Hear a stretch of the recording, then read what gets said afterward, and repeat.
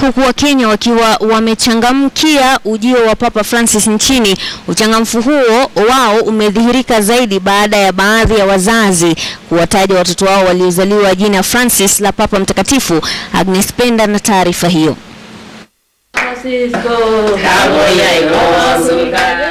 Hata uchovu baada ya uchungu wa uzazi usingemzuia Linda Tanui kuimba nyimbo za shukrani kwa Mwenyezi Mungu katika hospitali moja mjini Nakuru, shukrani ya kujifungua salama mtoto wa kiume.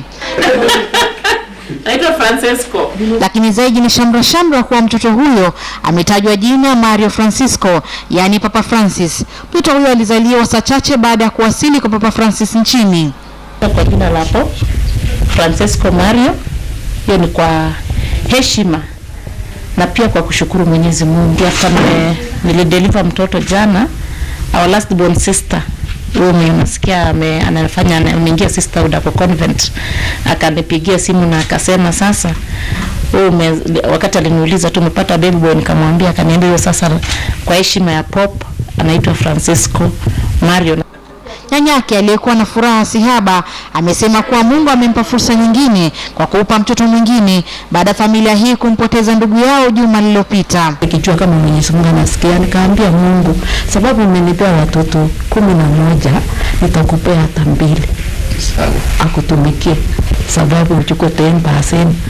Sikwani kwa hakuna kitu nimepea yeye. Last week we had a problem as a family. We lost our brother suddenly, and this week we are rejoicing. So it's, it shows that God has not forgotten us.